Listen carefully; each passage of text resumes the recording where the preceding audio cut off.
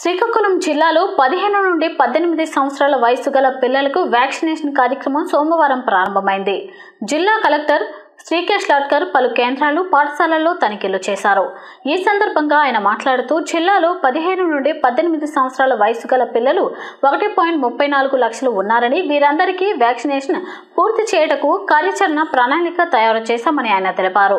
జిల్లాలో తొమ్మిది వందల ఇరవై తొమ్మిది గ్రామ వార్డు సచివాలయాల్లో వ్యాక్సినేషన్ కేంద్రాలు ఏర్పాటు చేశామని పేర్కొన్నారు. ప్రతి ఒక్కరూ వ్యాక్సినేషన్ వేసుకోవాలని తద్వారా కరోనా నుండి రక్షణ లభిస్తుందని అన్నారు. ఈ కార్యక్రమంలో జిల్లా ఇమ్యునేషన్ అధికారి కొయ్యన అప్పారావు పాఠశాల ఉపాధ్యాయులు పాల్గొన్నారు. పదిహేను సంవత్సరాలు దాటిన వాళ్ళు ప్రతి ఒక్కరు కూడా వ్యాక్సిన్ వేసుకోవాలి.